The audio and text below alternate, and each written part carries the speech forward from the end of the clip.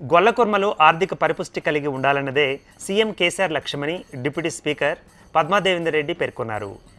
మెదక్ జిల్లా రామాయంపేట నిజాంపేట మండలంలోని నందగోకుల్ నస్కల్ బచ్చరాజుపల్లె తిప్పనగుల్ల కల్వకుంట గ్రామాల్లో లబ్ధిదారులకు గొర్రెల పంపిణీ కార్యక్రమాన్ని చేపట్టారు. కల్వకుంటలో కళ్యాణ లక్ష్మి షాదీ ముబారక్ చెక్కులను అందజేశారు. రాష్ట్ర ప్రభుత్వం గొల్ల కుర్మల కోసం వినూత్న పథకాన్ని ప్రవేశపెట్టిందన్నారు. మధ్య దళారీలను నమ్మకుండా నేరుగా ప్రభుత్వం ఇస్తున్న సబ్సిడీలను వినియోగించుకోవాలని అన్నారు. రాష్ట్రంలో అన్ని వర్గాలకు సమన్యాయం చేయడమే సీఎం కేసీఆర్ లక్ష్యమని అన్నారు. ఈ పంటకు నాలుగు వేలు ఎండాకాలం పంటకు నాలుగు వేలు.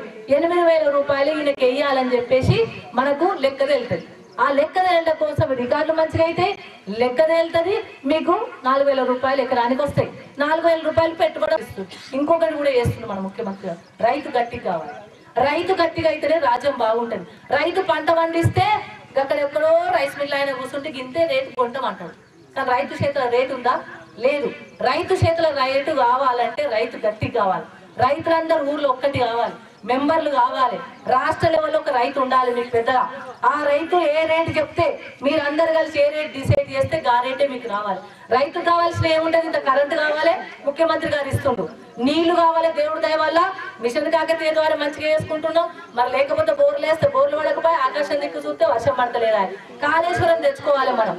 కాళేశ్వరం తెచ్చుకొని చెరువులు నింపుకోవాలి. మనది రామాయణపేట నిజాంపేట హైట్ మీద ఉన్నాయి. జర చెర్లకు జల్లి నీళ్ళు రావు. కాబట్టి చెరువులను నింపుకునే ప్రయత్నం చేయాలి. మిగతా మండలాలకు వస్తున్నాయి నీళ్ళు.